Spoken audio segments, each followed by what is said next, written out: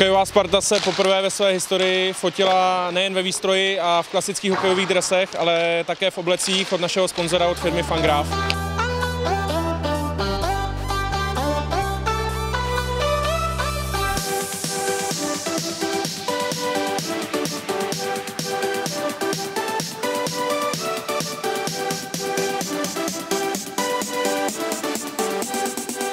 Největší nešvar si myslím, že byly kravaty, uzly na kravatách, aby opravdu vypadaly pěkně a šik.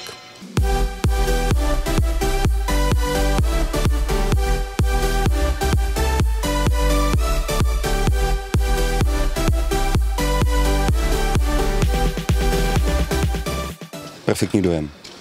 Tak ty outfity vypadají úplně dokonale.